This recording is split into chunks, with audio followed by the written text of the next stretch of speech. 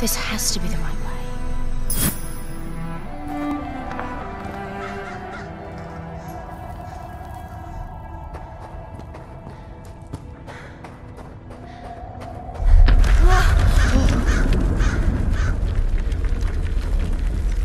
Before we continue, let's stop a moment and take a look at some of the key features of this demo. Much of what you see was built with Quixel Megascan assets, but instead of using the game versions, we used the cinematic versions which would typically only be used in film. There are around a million triangles each, and thanks to virtual texturing, they all use 8K textures as well. Nanite can render an insane number of triangles very quickly. There are over a billion triangles of source geometry in each frame that Nanite crunches down losslessly to around 20 million drawn triangles. What does that many triangles look like? This isn't noise. These are the triangles, each a different color. Most are so small that they look like noise. Nanite achieves detail down to the pixel, which means triangles are often the size of pixels. This amount of geometric detail requires shadows to be pixel accurate as well, and Nanite can do that too. Speaking of lighting, all of the lighting in this demo is completely dynamic, with the power of Lumen that even includes multi-bounce global illumination. No light maps, no baking here. Without GI, all of that beautiful lighting is gone. With Lumen enabled, we can move the light and the bounce changes instantly. Okay, let's keep going.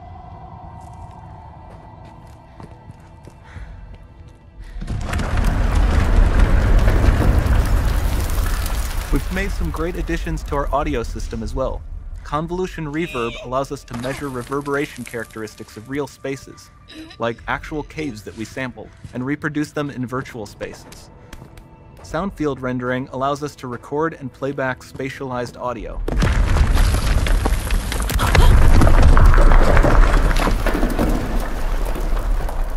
All of this adds up to a more immersive experience.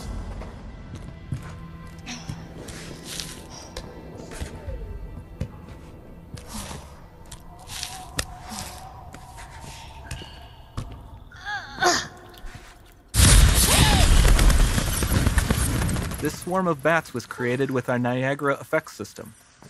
Particles in Niagara can now talk to one another and understand their environment like never before.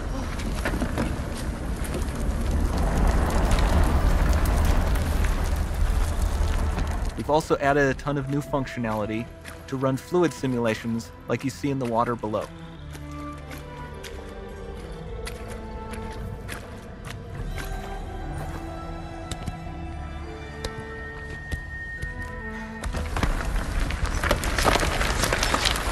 Demo runs on our Chaos Physics system. Here we are using it to accurately simulate the rigid bodies of the falling rocks and the cloth of her scarf.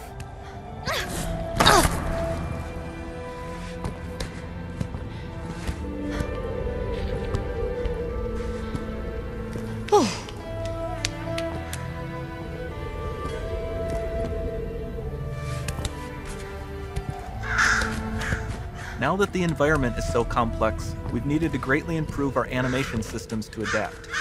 We've added predictive foot placement and motion warping, which dynamically modifies IK and body position to look more mm. natural.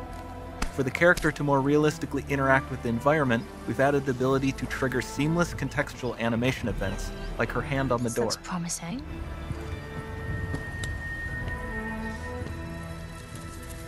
Dynamic GI is amazing, not just for speeding up iteration, but also for its impact on gameplay.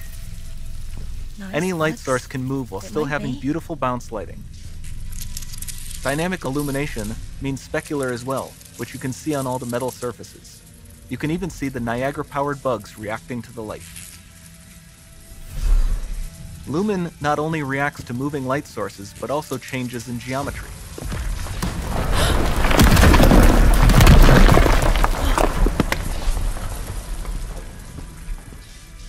Remember we mentioned high poly assets? This statue was imported directly from ZBrush and is more than 33 million triangles. No baking of normal maps, no authored LODs.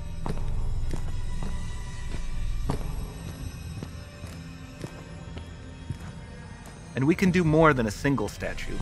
There are nearly 500 of that exact statue at the same detail level placed in this room, for a total of over 16 billion triangles from statues alone.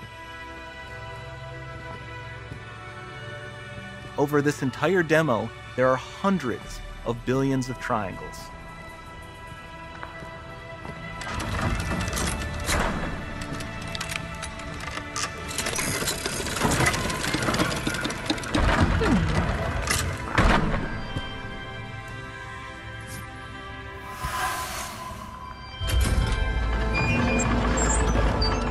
So with Nanite, you have limitless geometry, and with Lumen, you have fully dynamic lighting and global illumination, all running on a PlayStation 5.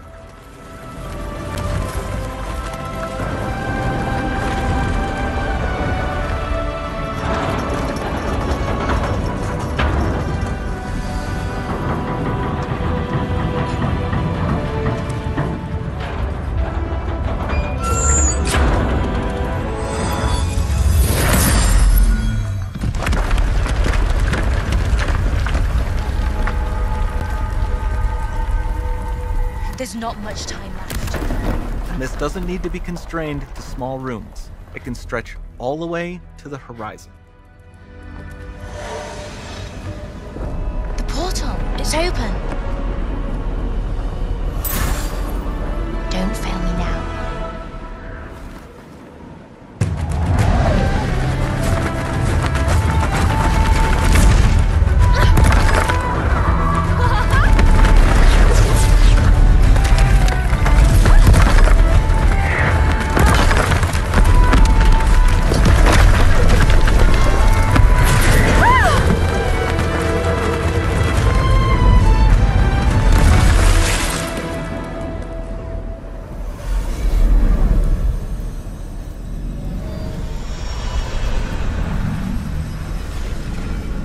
To see what's next.